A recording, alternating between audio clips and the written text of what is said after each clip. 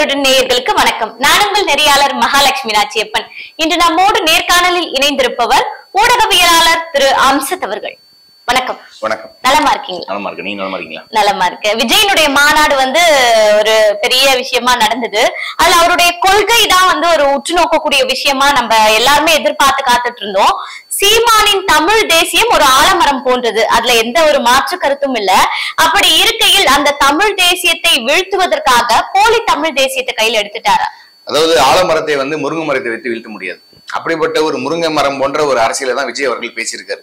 ஒண்ணு நீங்கள் உங்களுடைய கொள்கைகளை வெளிப்படுத்தும் போது நீங்க என்ன சொல்றீங்க அப்படின்னா தமிழ் தேசியமும் திராவிடமும் இருக்கணும்னு சொல்றீங்க. ஒண்ணு நீங்க தமிழ் தேசிய அரசியலுக்குள்ள போங்க. அதற்காக இன்று அதிமுக இருக்கு மதிமுக இருக்கு தேமுதிக இருக்கு பெரிய கட்சியாக திமுக இருக்கு. அந்த அரசியலை பேசுங்க. அப்படி இல்லைன்னா தமிழ் தேசிய அரசியலுக்குள்ள வாங்க. ஒண்ணு கருவாடுன்னு சொல்லுங்க கருவாட்டு குழம்புன்னு சொல்லுங்க இல்லைன்னா சாம்பார்னு சொல்லுங்க. அதுனா கருவாட்டு சாம்பார்னு சொல்வதை ஏற்றுக்கொள்ள முடியாது. இப்ப நம்ம ஒரு கடைக்கு போறோம் போயிட்டு எனக்கு ஒரு சிக்கன் பிரியாணி வேணும்னு நம்ம கேட்கிறோம் அந்த பிரியாணியோட கொஞ்சோன்னு பழைய சோறு பழைய சோறுனா நம்ம அந்த முதல் நாள் இரவு வடித்த சோறை வந்து தண்ணி ஊற்றி வச்சு மறுநாள் காலையில சாப்பிடுவோம். அந்த சோத்தையும் இந்த பிரியாணியை சேர்ந்து கொடுத்தா நீங்க சாப்பிடுவீங்களா? அப்படிப்பட்ட ஒரு அரசியல் புரிதலோட தான் விஜய் அவர்கள் அரசியல் களத்துக்குள்ள வந்திருக்காரான்னு நமக்கு ஒரு கேள்வி வருது. விஜய் அவர்களுடைய மாநாடு ரொம்ப சிறப்பாக நடைபெற்றது. தமிழக அரசியல் வரலாற்றில் ஒரு பெரிய மாநாடு. அவருடைய ரசிகர்கள் எல்லாம் அங்க வந்தாங்க. அங்க இருக்கக்கூடிய நாற்காலிகளை உடைத்ததை நம்ம பார்த்தோம். அந்த ராம்ப் வாக் மேல ஏறி நின்று செல்ஃபி எடுத்ததை பார்த்தோம். பல்வேறு பல்வேறு பிரச்சனைகள் நீங்க மன்னிக்கணும். விஜயனுடைய மாநாட்டுல மட்டும்தான் இது நடந்ததா? சொல்ல வரேன் கேளுங்க. ஒரு கருத்தியலை முழுசா முடிச்சிடணும். ஒரு கருத்தை நம்ம முதல் பக்கத்தை திருப்பின உடனே அந்த முதல் பேஜை மட்டும் நம்ம படிச்சுட்டு கடைசி பக்கத்தை முடிவு பண்ணிடக்கூடாது. அப்ப இப்படிப்பட்ட விஷயங்கள்லாம் நடந்தது. ஆனா இதே திமுகவை சார்ந்தவங்க என்ன சொல்றாங்கன்னா விஜயனுடைய மாநாட்டில் மது அருந்தப்பட்டது. விஜயனுடைய மாநாட்டில் சேர்களை உடைத்திட்டாங்க. சரி ஓகே உடைச்சாங்க. நீங்க என்ன பண்ணீங்க? அவங்களே சேரை உடைச்சி அங்கேயே போட்டு போனா நீங்க என்ன பண்ணீங்க? தலையில தூக்கி வச்சுட்டு போனீங்க. அங்க இருக்கிற சிலிண்டரை தூக்கிட்டு போனீங்க. அண்டா சட்டியை தூக்கிட்டு போனீங்க. பிரியாணி தூக்கிட்டு போனீங்க. வாழைத்தாரை தூக்கிட்டு போனீங்க. வாழைப்பழத்தை தூக்கிட்டு போனீங்க. இன்னும் விட்டு இருந்தா அங்க மாநாட்டுக்கு யாராவது யாராவது வந்திருந்தா அவங்களையும் தூக்கிட்டு போயிருப்பீங்க. அப்படிப்பட்ட உடன்பிறப்புகள் வந்து விஜயனுடைய மாநாட்டை விமர்சனம் செய்யக்கூடாது. இதே நாம் தமிழர் கட்சி ஒரு மாநாடு நடத்துறாங்க. அந்த மாநாட்டை நீங்க பாருங்க. அந்த மாநாட்டினுடைய துவக்கம் எப்படி இருக்கும்? அந்த மாநாட்டினுடைய முடிவு எப்படி இருக்கும்? அந்த மாநாடு முடிந்ததுக்கு பின்பாக சுற்றுச்சூழல் பாசறை என்ற ஒரு பாசறை இருக்கும். அந்த பாசறை என்ன பண்ணுவாங்கன்னா அங்க இருக்கக்கூடிய நெகிழிகள் அதாவது பிளாஸ்டிக் அதுக்கு பின்பாக தண்ணீர் பாட்டில்கள் அந்த தண்ணீர் பாட்டில் இது எல்லாத்தையும் அவங்க என்ன பண்ணுவாங்க? அவங்க ஒரு குப்பை பையில போட்டு அவங்க அந்த மாநாட்டை வந்து சுத்தம் பண்ணிட்டு அவங்க அதை தூக்கி அந்த குப்பை எங்க போடணுமோ அங்க போட்டுட்டு அந்த மாநாட்டை முடிச்சுட்டு போவாங்க. ஆனா விஜய் அவர்களுடைய மாநாட்டில் தவறு நடந்தது. சரி நாங்க ஏற்றுக்கொள்கிறோம். ஒரு மாநாட்டை அவர் பெரிய அளவில் நடத்துறாரு அந்த மாநாட்டுல ஒரு சின்ன தவறு நடந்துச்சு அரசியலுக்கு புதியவராக வராரு. அவரை குறை சொல்லக்கூடிய நீங்கள் 75 ஐந்து ஆண்டுகளாக ஆட்சியும் அதிகாரத்திலும் இருந்து எதிர்க்கட்சியாகவும் ஆளுங்கட்சியாகவும் எதிர்க்கட்சி அந்தஸ்தையும் இழந்து இருந்தவர்கள் நீங்கள் எவ்வளவு பெரிய மாநாடுகளை நடத்திருப்பீங்க? உங்க மாநாட்டுல தவறு நடக்கலையான்னு ஒரு கேள்வி இருக்கு. நான் இதை வந்து திமுகவை சார்ந்தவர்கள் வைக்கிறேன். ஆனா நாம் தமிழர் கட்சி ஒரு மாநாடு நடத்துறாங்கன்னா அந்த மாநாடு எப்படி இருக்குங்கிற விளக்கத்தையும் நான் கொடுத்துட்டேன். எந்த அரசியல் புரிதலோட விஜய் அவர்கள் அரசியலுக்கு வந்திருக்காரு நீங்க நினைக்கிறீங்க? அவர் வந்து தமிழ் தேசியத்தை கையில் எடுப்பாருன்னு தான் நாங்க எல்லாருமே தமிழ் எதிர்பார்த்தோம். எதிர்பார்த்தீங்க. இவர் வந்து திராவிடத்தையும் எடுத்துட்டாரு அதுதான் ஒரு மிகப்பெரிய ஷாக்கா இருக்கு இல்லையா? திராவிடம் என்றால் என்ன தமிழ் தேசியம் என்றால் என்ன திராவிடம் என்பது அதுதான் நீங்க சொன்ன மாதிரி ஒரு கலவை.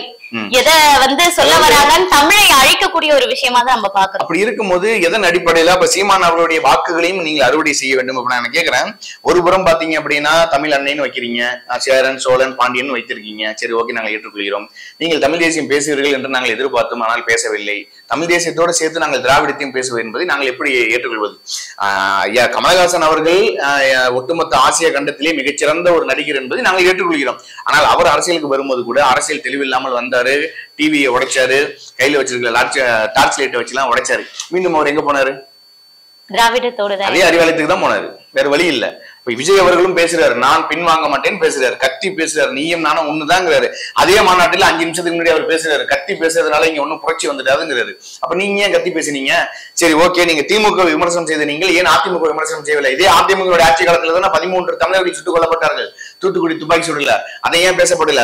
இதே திமுக ஆட்சி அது அதிமுக ஆட்சி காலத்துல தான் தங்கி அனிதா அவர்கள் இறந்து போனாங்க.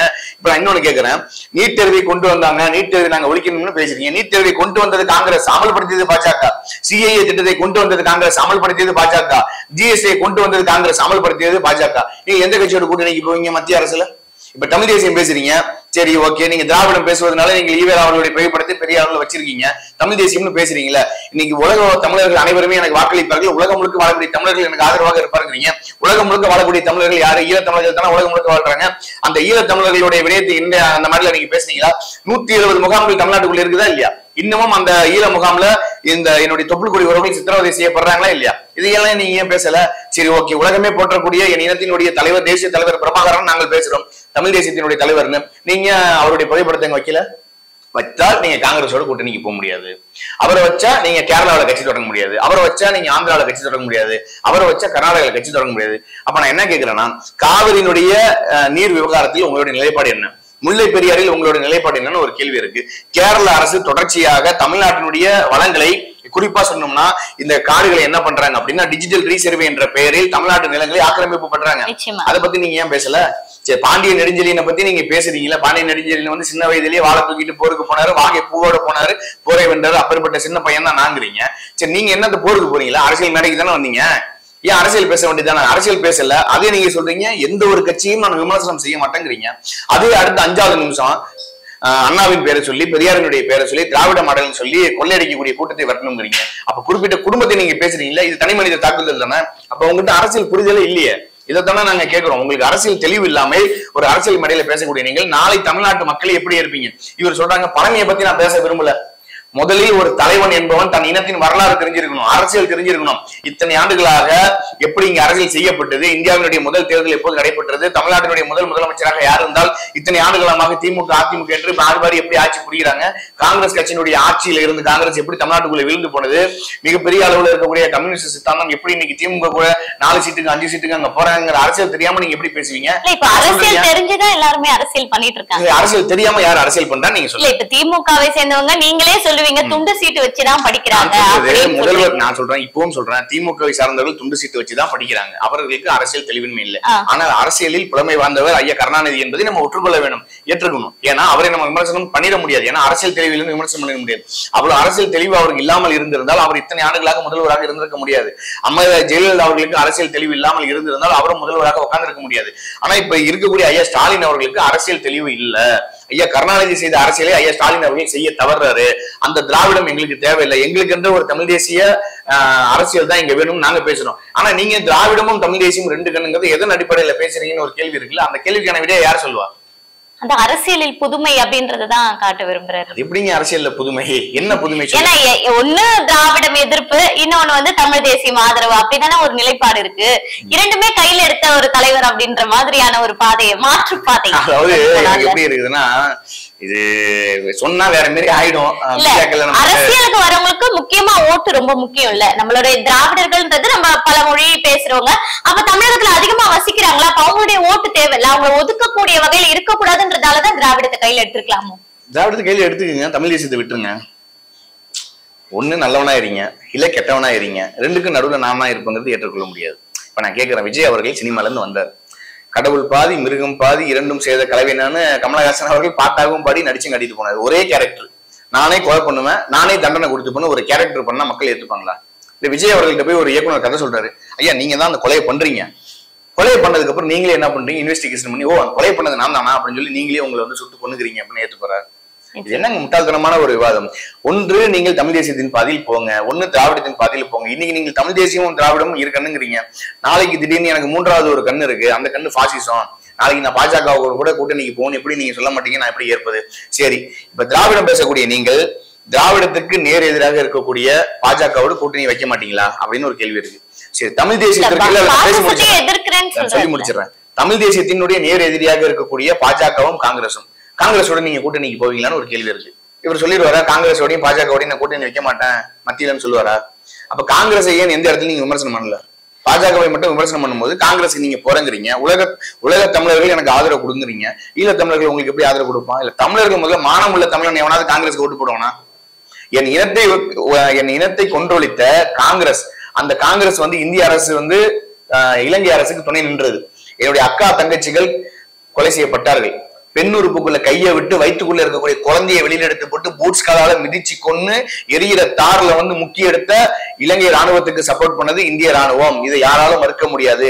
அந்த இந்திய ராணுவத்தை அன்று நிர்ணயம் செய்தது காங்கிரஸ் கட்சி. அந்த காங்கிரஸ் கட்சியோட நீங்க கூட்டணிக்கு போயிடுவீங்களா? எனக்கு அதான் கேள்வி. இப்ப நீங்க பாசிசத்தை எதிர்க்கிறேன்னு சொல்லிட்டீங்க. சரி ஓகேங்க நான் அக்செப்ட் பண்றேன். நீங்க பாஜகவை எதிர்க்க வேண்டிய தேவை இங்க இருக்கு. பாஜக என்ற கட்சி மனித குலத்துக்கு எதிரான கட்சி நாங்க ஒத்துக்கிறோம். தமிழர்களுக்கு எதிரான கட்சி ஒண்ணு இருக்குல்ல காங்கிரஸ்? அதை நீங்க பேசணும்ல. தமிழ் தேசியம் பேசுற நீங்க எப்படி காங்கிரஸ் கடந்து போவீங்க? காங்கிரஸ் பேசிருக்கணும்ல. திமுக விமர்சனம் பண்ணீங்களே ஏன் அதிமுக பண்ணல? இல்ல ஆளக்கூடியவர்கள் மீது தானே புதுசா ஆண்டவர்களையும் விமர்சனம் பண்ணும்ல ஆண்டவர்களையும் விமர்சனம் பண்ணும்ல ஆண்டவர்களை விமர்சனம் பண்ணக்கூடாதுன்னு சட்டம் இருக்கா? அவருடைய ஆட்சி காலத்துல இப்ப நான் கேக்குறேன். இப்ப திமுக ஆட்சி முடிஞ்சிருச்சுங்க. இப்ப நான் கேக்குறேன். திமுக ஆட்சி ரெண்டாயிரத்தி இருபத்தி ஆறுல முடியுது. மீண்டும் வேறு ஒரு கட்சி ஆட்சிக்கு வராங்க. அதுக்காக நீங்க திமுக விமர்சனம் பண்ணாம இருப்பீங்களா? அவ்வளவுதான். அப்புறம் ஏன் நீங்க காங்கிரஸ் விமர்சனம் பண்ணல அதிமுக விமர்சனம் பண்ணல? அப்ப என்ன அரசியல் புரிதல் உங்ககிட்ட இருக்கு? ஒரு அரசியல் புரிதலும் இல்ல. ஒரு அரசியல் புரிதலும் இல்லாம ஆனா சொல்றாரு நான் பல தலைவர்களை பார்த்து வந்திருக்கேன். பல அரசியல்ல வீழ்ச்சி அடைஞ்சவர்களை பார்த்திருக்கேன். எழுச்சி அடைஞ்சவர்களை பார்த்திருக்கேன். இல்ல இப்போ வந்து சீமானினுடைய வாக்கை ஒடுக்கதான் வந்து கமலஹாசன்ற ஒருத்தர் வந்து களமிறக்கப்பட்டாரு. இப்ப தற்போது வந்து விஜய் களமிறக்கப்பட்டிருக்காரு. இதனால வந்து சீமானுடைய வாக்கு வங்கி வந்து சிதறுமா? அதாவது திமுகவின் பி டீமா செயல்படுறாரு அப்படின்ற ஒரு மாதிரியான நோக்கத்துல அதாவது என்ன விஷயம்னா நாம் தமிழர் கட்சிக்கு வாக்களித்தவர்கள் பாத்தீங்கன்னா முப்பத்தி ஆறு லட்சம் வாக்குகளை நாம் தமிழர் கட்சி வாங்கியிருக்கு. ஒன்று புள்ளி ஒன்று அவர்களுடைய விழுக்காடுல தொடங்கின இந்த பயணம் எட்டு புள்ளி பத்தொன்பது விழுக்காடுல கடந்த பார்லமெண்ட் தேர்தலோட நிக்குது. அடுத்து ரெண்டாயிரத்தி இருபத்தி ஆறு தேர்தலில் எந்த அளவுக்கு வாக்குகளை வாங்க போறாங்கன்னு ஒரு கேள்வி இருக்கு.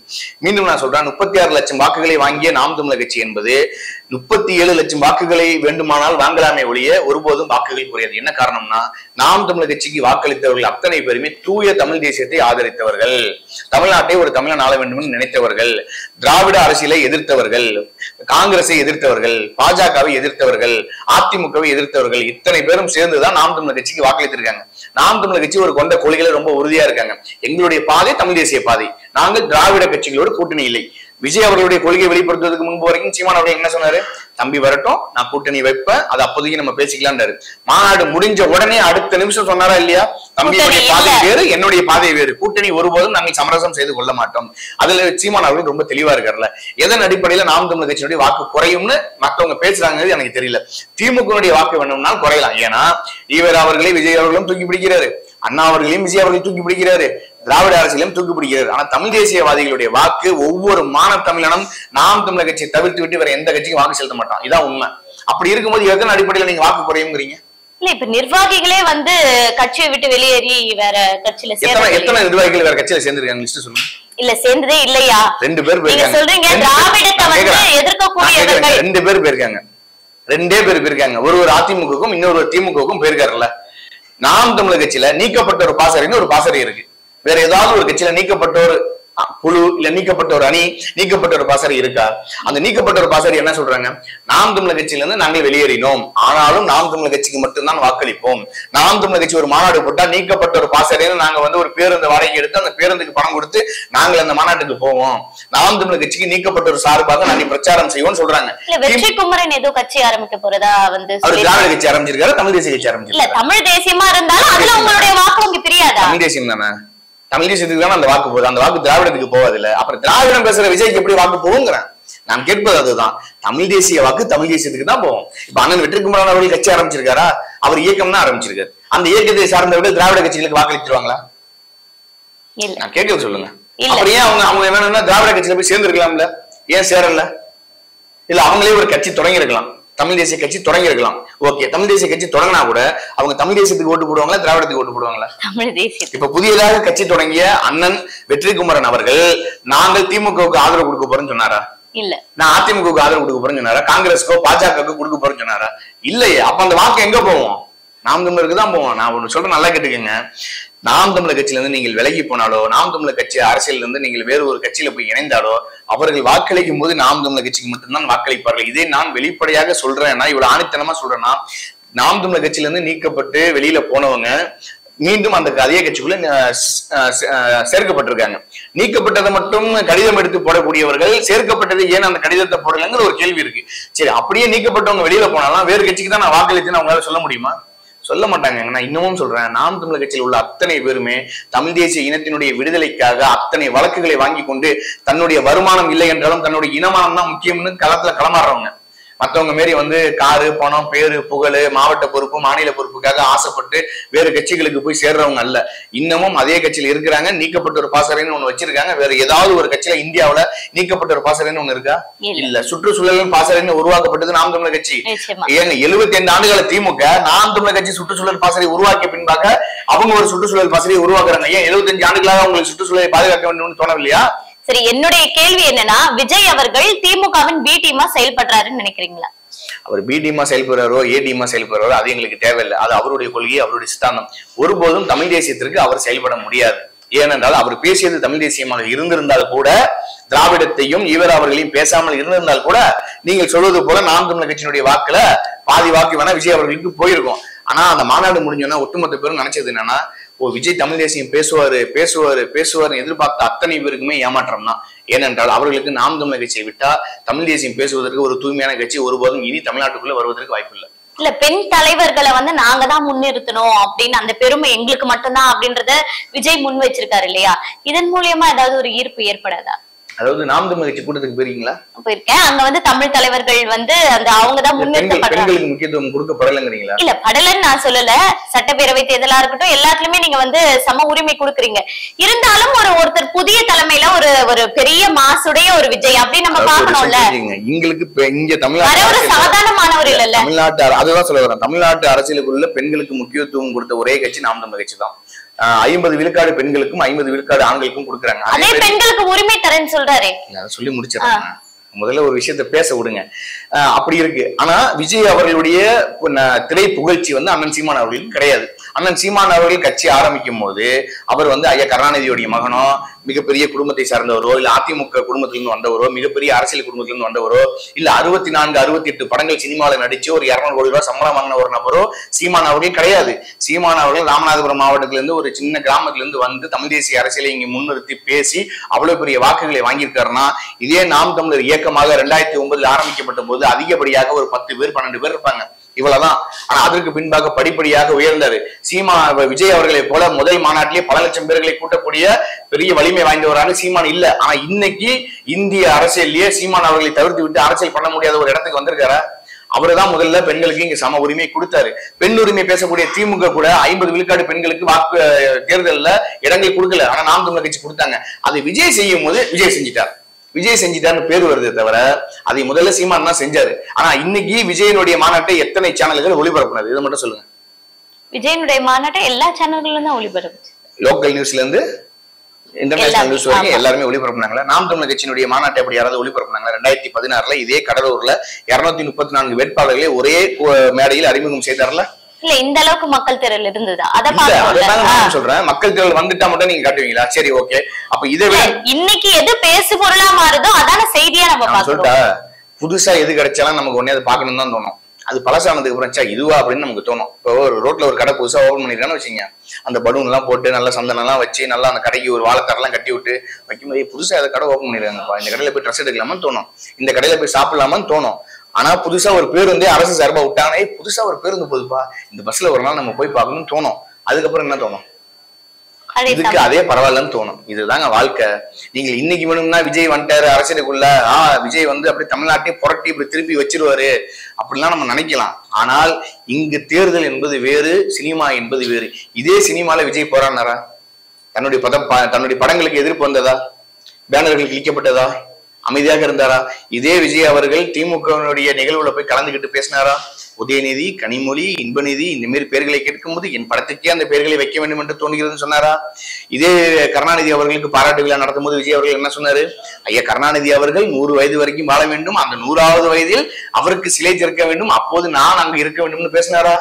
இன்னைக்கு நீ அரசியலுக்காக கருணாநிதி அவர்கள் எதிர்த்து பேசிட்டா? நீ தமிழ் தேசியவாதி நாங்க ஏத்துப்போமா? பேசுறது அரசியல் செய்யறவங்க எல்லாமே அவங்களுடைய வெறுப்புகளை உமிழ்றது சகஜம் அதைத்தான் நானும் சொல்றேன். அப்ப நீங்க மாடியில பேசும்போது என்ன சொன்னீங்க? தனி மனித விருப்புகளை தனி மனித அரசியலை நம்ம விமர்சனம் பண்ணக்கூடாது. பழச பத்தி நான் இங்க பேச வரலன்னு சொன்னீங்கல்ல. ஏன் அப்புறம் திமுக வந்து ஊழல் பண்றாங்க திமுக குடும்ப ஆட்சி பண்றாங்கன்னு ஏன் பேசுனீங்க? அது தனி மனித தாக்குதல் இல்லையா? இங்க வந்து கத்தி பேசினா புரட்சி வராதுன்னு பேசக்கூடிய நீங்கள் அடுத்த அஞ்சாவது நிமிஷம் கத்தி தானே பேசுறீங்க. அப்ப எப்படி உங்களை நாங்க புரிஞ்சுக்கிறது? இல்ல முதல் வருகை அவருடைய அந்த கொள்கையை வெளிப்படுத்தக்கூடிய அந்த உணர்ச்சி வசம் அவ்வளவுதான். இல்ல அந்த உணர்ச்சி வசம் பெற்று இப்ப நான் சொல்றேங்க நாங்க நல்லா புரிஞ்சுக்கோங்க.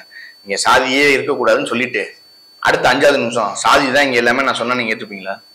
இல்ல. இப்ப நான் உங்ககிட்ட உட்காந்து பேசிட்டு இருக்கேங்க. இப்ப நான் இப்ப மாத்தி பேசட்டுமா? விஜயனுடைய அரசியல் வருகையினால என்ன இங்க தப்பு நடக்க போகுது? விஜய் மிகப்பெரிய வாக்கு வங்கி பெறுவாரு. விஜய் இருநூத்தி முப்பத்தி நாலு தொகுதியிலும் ஜெயிப்பாரு. விஜய் தான் தமிழ்நாட்டினுடைய அடுத்த முதல்வர். விஜயை எந்த கட்சியாலும் வீழ்த்த முடியாது. அப்படின்னு நான் சொன்னா நீங்க ஏத்துப்பீங்களா? என்னடா இவன் பைத்தியமா? முன்னாடி விஜய் அரசியலுக்கு வர்றது அன்ஃபிட்னா இப்ப விஜய் தான் வந்து இருநூத்தி முப்பத்தி நாலு தொகுதியிலும் ஜெயிக்க போறான்னு நான் அடுத்த அஞ்சாவது நிமிஷம் மாத்தி பேசினா உங்களுக்கு என்ன தோணும்? நீங்களே சொல்லுங்க. இல்ல சொல்லுங்க என்ன தோணும்? இல்ல ஆமா என்ன மாத்தி மாத்தி பேசுறாங்களே அப்படின்னு தோணும்? தோணும். தோணும்ல? அப்ப மாறி மாறி விஜய் பேசியிருக்காருல்ல அவர் எப்படி நீங்க ஏத்துப்பீங்க? முதல் மாநாடு. ஒட்டுமொத்த அரசியல் கட்சிகளும் விஜய் அவர்களுடைய முதல் மாநாடு தான் எதிர்பார்க்குது. விஜய் அவர்கள் என்ன பேச போறாருன்னு தெரியுது. இவ்வளவு பேர் வராங்க இத்தனை இருக்கைகள் போடணும் இவ்வளவு கழிவறைகளை வைக்கணும் இவ்வளவு இடத்துல தண்ணீர் பாட்டிலுக்கு டேங்க் வைக்கணும் இத்தனை காவலர்களை இங்க வைக்கணும் இந்த பதாதைகளை வைக்கணும் மாநாட்டில் இத்தனை பேர் தான் உட்காரணும் சேர போறீங்க இடதுபுறம் மாவட்ட பொறுப்பாளர்கள் வலதுபுறம் இங்க இருக்கக்கூடிய மாநில பொறுப்பாளர்கள் இருக்கணும் மாநாட்டில் வந்து ஒரு பெண்மணி தான் பேசணும் அவங்க வந்து பேசும்போது விஜய் அவர்கள் இந்த சட்டை தான் போடணும் இந்த பேண்ட் தான் போடணும் ராம் வாக் நடக்க எட்நூறு மீட்டருக்கு நான் வந்து ராம்ப் போடணும் இது எல்லாம் செய்ய தெரிஞ்ச விஜய்க்கு என்ன பேசணும்னு தெரியலையா மாநாட்டில்? இது என்ன எங்களை பார்த்தா என்ன பைத்தியக்கார மாதிரி இருக்கா? இது முதல் மாநாடு. அதனால அவருக்கு பேச தெரியல. சரி முதல் மாநாடு பாஜக ஆதரவு கொடுத்துட்டாரு. சொல்றேன். ஆதரவு கொடுத்துட்டாரு அப்படின்னா நீங்க ஏத்துப்பீங்களா? இல்லங்க முதல் மாநாடுங்க பாஜக ஆதரவு தெரிவிச்சிட்டாங்க. சரி ரெண்டாவது மாநாட்டுல மாத்தி பேசுவாருங்கன்னா ஒத்துப்பீங்களா? அது. எப்படிங்க அரசியல்னா என்ன? உங்களுக்கு என்ன இதுவா? கோலி குண்டு விளையாடுறது அரசியல்னா? நீங்க என்ன பேசுறீங்களோ அதை நீங்க அதுல அந்த சித்தாந்தத்துல நீங்க தெளிவா இருக்கணும். முத நாள் ஒண்ணு பேசிட்டு மறுநாள் ஒண்ணு பேசிட்டா அதை நீங்க ஏத்துப்பீங்களா? நிச்சயமா இல்ல.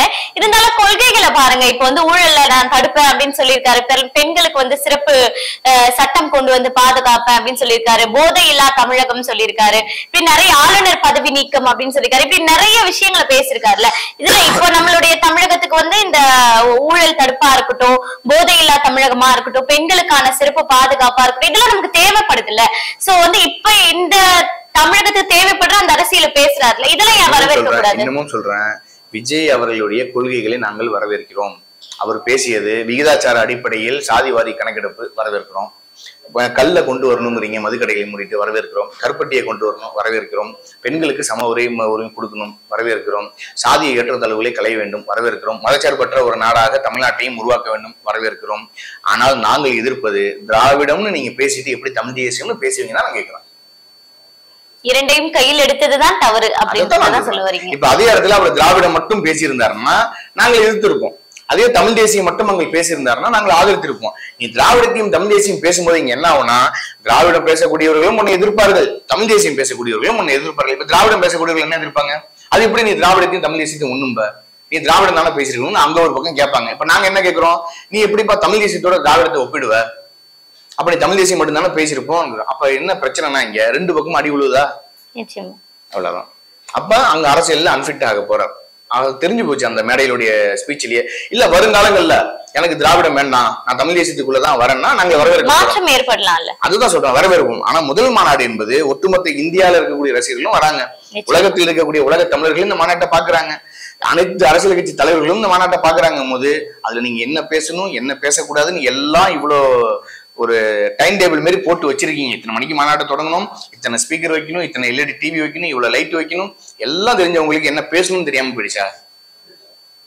நிச்சயமா அவர் பேசணும்னு தெரியாம இல்ல அது அவருடைய அந்த அரசியல் என்பது அது புது அனுபவம்.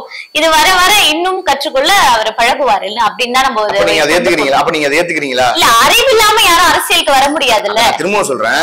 அதை நீங்க ஏத்துக்கிறீங்களா? இது அனுபவம் அவர் இன்னும் கத்துக்கணுங்கிறத நீங்க ஏத்துக்கிறீங்களா? இல்ல யாரா இருந்தாலுமே எல்லா எல்லாமே அனுபவத்துல தானே பழக்கப்படும் அதைத்தான் நானும் கேட்கிறேன். அதை நீங்க ஏத்துக்கிறீங்களான்னு கேட்கிறேன். அவருடைய கொள்கையை வெளிப்படுத்தும் போது அவருடைய செயல்பாடை நிரூபிக்கும் போது இந்த ஒன்றரை வருஷத்துல இரண்டாயிரத்தி இருபத்தி ஆறுல ஏன் விஜய் அவர்களால வந்து ஒரு மாற்றத்தை கொண்டு வர முடியாது அப்படின்ற நினைக்கிறீங்க? வாக்கு வங்கிகள் வந்து அந்தந்த வங்கி- கட்சியில இருந்து தெரியலாம். வாக்கு வங்கி விட்டுருங்க. தமிழ் தேசியம் திராவிடம். இது என்ன மாற்றத்தை கொண்டு வர முடியும்னு இல்ல நினைக்கிறீங்க அவர் என்ன செயல்பாட்டுல செய்யறாருன்றத வச்சு நம்ம பார்க்கலாம். இல்லையா இன்னும் ஒன்றரை வருட காலம் நமக்கு வந்து கேப் இருக்குல்ல. அவர் என்னென்ன செயல்பாடு செய்யறாரு என்னென்ன எதுக்காக அவர் குரல் கொடுக்கறாரு அப்படின்றத வச்சு நம்ம இரண்டாயிரத்தி இருபத்தி ஆறுல கட்சி எப்போ தொடங்கினாரு? கட்சி இப்பதான் தொடங்குறாரு. தொடங்கி எத்தனை மாதம் ஆகுது? ஒரு ஆறு மாதம். ஆறு மாதம் ஆகுதா? இந்த ஆறு மாதத்துக்குள்ள தமிழ்நாட்டு அரசியலுக்குள்ள என்னென்னலாம் நடந்தது? இல்ல அவர் வந்து முழுமையா அரசியலுக்குள்ள இறங்கல இல்லையா? ஆத்துல ஒரு கால் ஒரு கால் சேத்துல ஒரு காலா இல்லங்க ஒரு திரைப்பட திரைப்படத்துக்கு புக் ஆயிட்டாரு. முதல்ல அதை முடிச்சிட்டு இதுல வரணும் அப்படின்ற ஒரு இது நான் சொல்லட்டுமா? ஒண்ணு நீ சாப்பாட்டுல கைய வைக்கணும். இல்ல கழிவறையில கைய வைக்கணும். ரெண்டுலயும் சேர்த்து கைய வைக்க முடியுமா? இல்ல. இது நீங்க ஏத்துப்பீங்களா? அவ்வளவுதான். ஒண்ணு அரசியலுக்குள்ள வந்து அரசியல் மட்டும் பேசு. ஏங்க சினிமால வந்து சாதித்தவர்கள் எல்லாம் அரசியல சாதிக்க முடியாது. என் டி ராமாராவ் அவர்கள் சாதித்தாரு எம்ஜிஆர் சாதித்தாருன்னா அன்றைய சூழல் வேற. அதற்கு பின்பாக வந்தவர்கள் சாதிக்க முடிந்ததா? இதே எம்ஜிஆர் அவர்களுக்கு ஈக்குவலாக ரசிகர் பட்டாளத்தை உடையவர் ஐயா நடிகர் திலகம் சிவாஜி அவர் இப்போ நீங்க ஒண்ணு அரசியலுக்குள்ள முழுமையா வாங்க. ஒரு அரசியல் கட்சி ஆரம்பிக்கிறீங்க ஒரு கொடியை அறிமுகப்படுத்துறீங்க நாங்கள் எல்லாம் உங்களுக்கு விமர்சனம் பண்ணல. உங்களோட கொள்கைகள் வரட்டும் நாங்க காத்திருக்கிறோம். அது வரைக்கும் நாங்கள் விமர்சனம் பண்ணல. ஆனா இந்த திமுகவை சார்ந்தவர்கள் விஜய் கட்சி ஆரம்பிக்க போறோம்னு சொன்னதுல இருந்தே கதறிக்கிட்டு இருந்தாங்க. அப்பையில இருந்து ஜெலிசில் வாங்கி குடிக்க ஆரம்பிச்சிட்டாங்க. அப்படி இருக்கும்போது அவருடைய கொள்கைக்காக நாங்கள் காத்திருந்தோம். கொள்கைக்கு அந்த மாநாடு நடைபெறும் வரைக்கும் நாங்கள் ஆதரவாக பேசியவர்கள் தான். அந்த மாநாட்டில் நாங்கள் அவருடைய கொள்கையில ஏற்றுக்கொள்ள முடியாத ஒரு கொள்கை என்னன்னா திராவிடத்தையும் தமிழ் சேர்த்து வைத்து பேசியதால் எங்களால் ஏற்றுக்கொள்ளவே முடியவில்லை. நல்லா புரிஞ்சுக்கோங்க. இந்தியாவினுடைய அரசியலமைப்பு சட்டத்தை வந்து அண்ணல் அம்பேத்கர் அவர்கள் ஏற்றார் அதே இந்திய அரசியலமைப்பு சட்டத்தை எரித்தவர் ஈவேர ராமசாமி அவர்கள். தமிழ் அன்னையை நீங்க இங்க வைக்கிறீங்க. அதே தமிழ் மொழி காட்டுமிராண்ட மொழி தமிழ் ஒரு நீச பாசை திருக்குறளில் மலம் நாட்டம் அடிக்குதுன்னு பேசிங்க பேசுங்க. அந்த திருக்குறள் எடுத்து தானே பிறப்புக்கும் எல்லா உயிருக்குன்னு வச்சிருக்கீங்க. அந்த திருக்குறள் வந்து என்பது ஒரு மலத்துக்கு சமம். அந்த மலம் அதுல மலம் நாட்டம் அடிக்குதுன்னு பேசின ஈவராவை நீங்க எப்படி கொள்கை தலைவராக ஏத்துக்கிறீங்க. இப்ப இதுலயே கருத்து முரண் இருக்கா அவ்வளவுதான். அப்ப அந்த அரசியல் தெளிவு இன்னும் விஜய் அவர்களுக்கு வேண்டும்னு நான் சொல்றேன். பார்ப்போம். வர காலங்கள்ல விஜய் அவர்கள் எந்த மாதிரியான ஒரு ஸ்டாண்ட் எடுக்கிறாருன்னு பார்ப்போம். இல்ல அது கூத்தாடி அப்படின்னு ஒரு கடுமையான விமர்சனங்கள் எல்லா தரப்புல இருந்து வைக்கிறாங்கல்ல. ஏன் ஒரு கூத்தாடி அரசியல்வாதி ஆக முடியாதா. இல்ல அப்படி ஆகி அவங்க யாருமே சாதிச்சது இல்லையா அது ரொம்ப ஒரு தவறான விஷயம். என்னன்னா கூத்து என்பது தமிழ் சமூகத்தினுடைய பிரிக்க முடியாத ஒரு கலை. அந்த கலை என்பது கூத்து. அந்த காலத்துல வந்து தெருக்கூத்தாக இருந்தது கலையாக இருந்தது. அது காலப்போக்கில் சினிமாவாக உருவானது. இப்ப சினிமாவையும் தமிழ் ரசிகர்களையும் ஒருபோதும் பிரிக்க முடியாது. தமிழ் ரசிகை மட்டும் இல்ல உலகத்தில் இருக்கக்கூடிய எல்லா மனிதனும் சினிமாவை நீங்க இன்னைக்கு பிரிக்கவே முடியாது. அந்த கூத்து என்பது தமிழ் மரபுல ஊறி போன ஒரு விடயம். அப்படி இருக்கும்போது அந்த காலத்துல நீங்க பாத்தீங்கன்னா மன்னர்களுக்கு முன்பாக கூத்தெல்லாம் கட்டி தான் அவர்களை வந்து உற்சாகப்படுத்துவதற்காக பல்வேறு விடயங்கள் செய்யப்பட்டது. ஆனா இந்த கூத்தாடிங்கிற வார்த்தை அந்த கூத்தாடி வந்து அரசியலுக்கு வரக்கூடாது அப்படிங்கறத வந்து நம்ம ஏற்றுக்கொள்ளவே முடியாது. என்னன்னா இப்ப எம்ஜிஆர் அவர்கள் வந்து சினிமால இருந்து வந்தவர் தான். இன்னமும் மக்கள் மனசுல வாழ்றாரு. அம்மையார் ஜெயலலிதா அவர்களும் சினிமால வந்தவங்க தான் என் டி ராமாராவ் அவர்களும் சினிமால இருந்தவங்க தான் அதனால இப்போ ஒரு வழக்கறிஞர் வராருங்க அரசியலுக்குள்ள. அதுக்காக வழக்கறிஞர் அரசியலுக்குள்ள வர முடியாதுன்னு சொல்ல முடியாது. ஒரு பொறியாளர் அதாவது இன்ஜினியர் வராரு. அவர் வந்து சினிமாக்கு வரக்கூடாதுன்னு நம்ம சொல்லிட முடியாது. ஒரு மருத்துவர் அவர் வராருன்னா அவரை நீங்க வரக்கூடாதுன்னு சொல்லிட முடியாது. அவங்கவுங்களுக்கு ஒரு தொழில்னா கூத்து என்பதும் அவர்களுடைய தொழில். அந்த கூத்தை இழிவாக பார்க்காதீங்க. அவர் நடிகராக இருந்தாலும் மக்களுக்கு நல்லது செய்வார்னு நம்ம பொறுத்து இருந்து பார்ப்போம் அவ்வளவுதான்.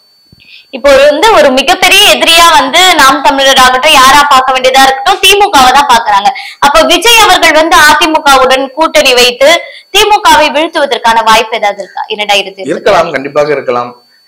ஏற்கனவே சில தகவல்கள் வருது அதிமுகவோடு. அதனாலதான் அவர் திராவிடத்தை கையில எடுத்திருப்பாரோ அதான் சொல்றேன். ஏற்கனவே வந்து கூட்டு பேச்சுவார்த்தை பண்ணிட்டு இருக்காங்க. கூட்டணி போலாமா அப்படின்னு. ஆனா விஜய் அவர்கள் மாநாட்டுல ரொம்ப தெளிவா சொல்லிட்டாரு. இருநூத்தி முப்பத்தி நான்கு தொகுதிகளிலும் உங்கள் கைகள் தமிழக வெற்றி கழகத்துக்கு வாக்களிக்கணும்னு சொல்றாருன்னா அப்ப இருநூத்தி முப்பத்தி நான்கு தொகுதியும் தனிச்சு தான் போட்டியிட போறாரு. அதே மாநாட்டுல இன்னொன்னும் சொல்றாரு. இன்னொரு விஷயத்த நான் சொல்லிடுறேன். நான் மறந்துட்டேன். சாரி சாரி ஒரு அஞ்சு நிமிஷம் நான் எடுத்துக்கிறேன் அப்படின்னு விஜய் அவர்கள் பேசிட்டு சொல்றாரு. இல்ல நான் வந்து கூட்டணிக்கு யாராவது வந்தாங்கன்னா ஆட்சியிலும் அதிகாரத்திலும் நாங்கள் பங்கு கொடுக்கிறோம்ங்கிறாருன்னா அப்ப இவருடைய தலைமையில தானே அவர் கூட்டணி எதிர்பார்க்கிறாரு. அப்புறம் எப்படி இவர் அதிமுக போவாரு? அதிமுக இவர்கிட்ட வந்துருமா? அவ்வளவு பெரிய கட்சி. ஆளுங்கட்சியாக இருந்தவர்கள் எதிர்கட்சியாக இருந்தவர்கள் இன்னைக்கு தமிழ்நாட்டு அரசியலில் இரண்டாவது இடத்துல இருக்காங்க. ஆஹ் எதிர்க்கட்சியாக இருக்காங்க. அப்படி இருக்கக்கூடியவங்க எப்படி விஜய் கிட்ட போவாங்க? விஜய் வேண்டுமென்றால் அதிமுக கிட்ட போகலாம். ஆனால் அது போவதற்கும் வழி இல்லை என்பதற்காக தான் விஜய் அவர்கள் எங்களோட கூட்டணிக்கு வரவங்களுக்கு ஆட்சியிலும் அதிகாரத்திலும் பங்குன்னு சொல்லியிருக்காரு. அந்த ஆட்சியிலும் அதிகாரத்திலும் பங்கு என்று விஜய் சொன்னதை நான் வரவேற்கிறேன். என்னன்னா ஒரு கூட்டணியில ஒரு கட்சி இருக்கு அப்படின்னா அந்த கட்சியினுடைய வாக்குகளை பெற்றுதான் நான் வெற்றியும் பெறுகிறேன் என்பதை அந்த கூட்டணி கட்சியும் எனக்கு உறுதிப்படுத்தினா அப்படி அந்த வெற்றியை சுவைத்து நான் ருசித்து கொண்டாடும் போது அவர்களுக்கு அந்த அதிகாரத்திலும் ஆட்சியிலும் பங்கு கொடுப்பதுதான் சரியாக இருக்கும். அதுதான் சரியான சமூக நீதியாக இருக்கும். அதை திமுக செய்ய தவறிடுச்சு. அவ்வளவுதான். இப்போ விசிகாவினுடைய குரல் தான் அந்த வா- ஆட்சியிலும் பங்கு அதிகாரத்திலும் பங்கு என்ற வார்த்தை. அப்ப வந்து திமுகவினுடைய கூட்டணி உடைப்பதற்காக தான் இந்த வார்த்தை அவர் பயன்படுத்திருக்காரா? திமுக கூட்டணியை உடைப்பதற்காக பண்ணாரா? இல்ல ஃபெவிகால் போட்டு ஒட்ட வைக்கிறதுக்காக பண்ணாரா? நமக்கு தெரியாது. ஆனா அவர் பேசிய வார்த்தை சமூக நீதிக்கான வார்த்தை என்பதை நம்ம ஏற்றுக்கொள்ளணும். நாம இப்பவும் சொல்றேன் விஜய் அவர்களையும் நம்ம எதிர்த்து பேசுறோம்னா எல்லாத்தையும் நம்ம விஜய் எதிர்க்கல. ஏ டு இசட் எல்லாத்தையும் எதிர்க்கலன்னு நம்ம பேசல. இப்ப திமுக சமூக நீதி பேசுதா? அந்த சமூக நீதியை திமுக செஞ்சுதான் நாங்க கேள்வி கேட்கிறோம். இப்ப சமூக நீதி பேசக்கூடிய நீங்கள் வட மாவட்டங்களில் விடுதலை சிறுத்தைகள் கட்சியினுடைய வாக்குகள் இல்லாமல் ஒருபோதும் ஆட்சி அரியணையில் நான் இவரு திருமாவளவனுடைய வாக்குகள் இல்லாமல் ஐயா ஸ்டாலின் அவர்கள் ஆட்சி அமைக்க முடியாது. அப்படி இருக்கும்போது நீங்க என்ன பண்ணிருக்கணும்? துணை முதல்வர் பொறுப்பு கொடுத்திருக்கலாம் இல்ல அமைச்சரவையில கொடுத்திருக்கலாம். அப்படி இல்லை என்றால் கூட கடந்த பாராளுமன்ற தேர்தலில் பொது தொகுதி கேட்டார். அந்த பொது தொகுதியாவது அட்லீஸ்ட் அந்த சமூக நீதியுடைய கடைசி வரி இருக்குல்ல அந்த கடைசி நம்பிக்கையில நீங்க ஒரு பொது தொகுதியாவது கொடுத்திருக்கலாம். அது கூட நீங்க கொடுக்கப்படல. ஆனா விஜய் அவர்கள் நான் சமூக நீதியின் அடிப்படையில நாங்க வந்து வரக்கூடியவர்களுக்கு ஆட்சியிலும் அதிகாரத்திலும் பங்குங்கிறது. அது நம்ம வரவேற்போம். அதுக்காக திமுக கூட்டணி உடையதா இல்ல ஃபெவிகால் போட்டு ஒட்டி வைக்கிறாங்கிறத பொறுத்து இருந்து பார்ப்போம். இரண்டாயிரத்தி இருபத்தி ஆறு தேர்தல்ல இதற்கான விடையை இதை நான் சொல்றேன்னா இதே அண்ணன் திருமாவளவன் அவர்கள் விஜயகாந்த் கேப்டன் விஜயகாந்த் அவர்கள் அரசியலுக்குள்ள வரும்போது அவ்வளவு கடுமையாக விஜயகாந்த் அவர்களை விமர்சித்தவர். அவ்வளவு கடுமையாக விமர்சித்தார். விஜயகாந்தன் வந்து ஒரு குடிகாரர்கள்லாம் விமர்சித்தார். ஆனா அதே அண்ணன் திருமாவளவன் தான் மக்கள் நல கூட்டணியில போயிட்டு விஜயகாந்த் முதலமைச்சராகணும்னு பேசினார். அரசியல் என்ன வேணாலும் நடக்கலாம். பொறுத்து இருந்து பார்ப்போம். இரண்டாயிரத்தி இருபத்தி ஆறு தேர்தல் தான் இதுக்கான விடையா அமையும் அப்படின்னு நாங்க நம்புறோம். நன்றி. மீண்டும் மற்றொரு நிகழ்ச்சியில் சந்திக்கலாம்.